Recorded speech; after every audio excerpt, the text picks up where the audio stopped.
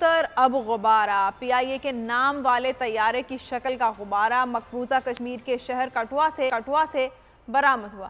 کشمیر کی کٹپتلی بھارتی انتظامیہ لاکھوں کی فوج اور پولیس میں کھلبلی مچ گئی۔ بھارتی سیکیورٹی فورسز کا سرچ آپریشن غبارے کو تحویل میں لے کر تحقیقات شروع کرتی ہیں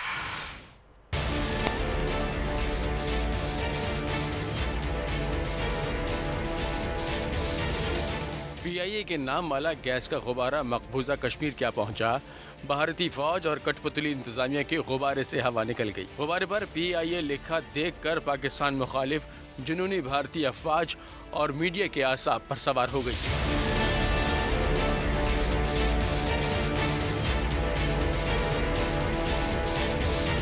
بھارتی پولیس اور ایجنسیوں کی دوڑیں لگ گئی مشترکہ آپریشن کے بعد غبارے کو تحویل میں لے لیا گیا۔ تحقیقات مکمل ہونے تک غبارہ تھانے میں قید رہے گا۔ بھارتی افواج ماضی میں پاکستان سے آنے والے کبوتر کو بھی گرفتار کر کے پس زندان تفتیش کر چکی ہے۔ جنا ہاؤس لاہور میں توڑ پھوڑ کرنے والے ایک اور ملزم کی شناخت۔